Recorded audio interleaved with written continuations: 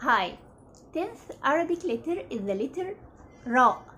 Like R in English, exactly. And it has three sounds. Ra, Ri, Ru. Ra, like the word Rabbi. Rabbi means my God. My God is Allah. Second sound is Ri, Ri, like the word Riyada. Riyada means sport. Walking is my favorite Riyada. Third sound is Ru. Ru like the word Ruh. Ruh means spirit or soul. My soul is in my prayer. Ruhi is in my prayer. Again, Rabbi, Ra, Ri, Riyada, Ro, Ruh. Thank you for watching.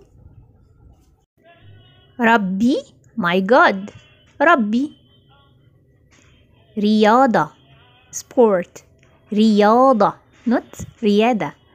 Ruh, spirit or soul. Ruh. Thank you for watching. Follow me for more.